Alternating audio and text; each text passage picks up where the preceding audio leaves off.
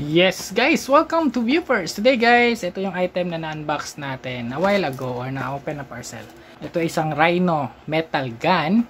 Mostly nakikita nyo sa social media. So, yan po yung likod niya. There. Harap. And then, kinakailangan siya ng bahalang ganito. Open na natin guys. Open. Yan, pwede rin slide. Tingnan natin yung likod. Or loob. Yan lang. Okay, so made up of metal. Ito po, ganito lang siya kalaki guys. 1, 2, 3, 4, 5, 6. So, almost 6 inches.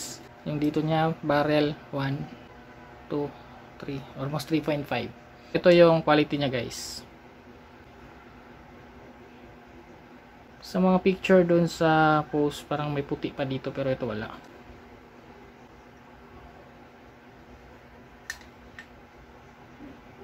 Okay, to open. Yan. Then, yan. Ito yung lagyan ng bala. Yung butas dito guys, walang purpose. Dito lang ng iba na pwede mo lagyan ng bala. Pero ito, yung bala niya is yung, yung cap lang. Yan.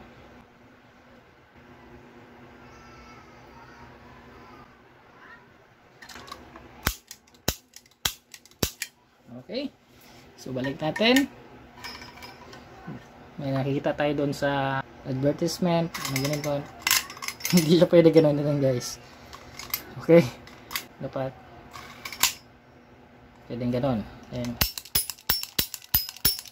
yan naririnig niyo yung putok putok niya. So lalagyan natin bala guys.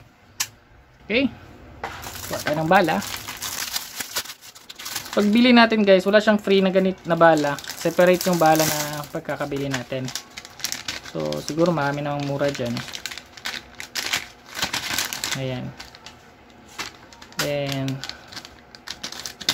parang hindi na tulad nung dati yung lalagyan. Anyway, ayan. 72 rounds siguro. 1, 2, 3, 4, 5, 6, 7, 8. 8 times 1, 2, 3, 4, 5, 9. 8 times 9. 72 nga. Ayan, tingnan natin yung mga ano to. Ito parang walang empty shell. So try natin tong empty shell, guys. Kasi may empty dito. Then Ayan. Hmm, so ganyan lang, guys. Then Ayan na po. 3 2 1 Ayun. Parang nag aso wala rin. Wala. Ayan guys nasira.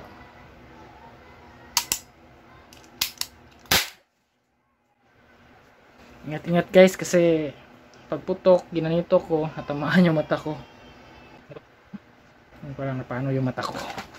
So ganito na lang. Ayan.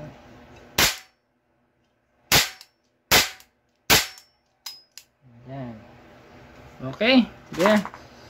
Medyo mabaho. Tapos yun yung mga shells niya. Medyo malakas guys. Ayan. Okay, so yan lang yung pag-preview natin ito guys. That's all for now guys. Thank you for watching and don't forget to subscribe to our channel. Viewers, bye-bye!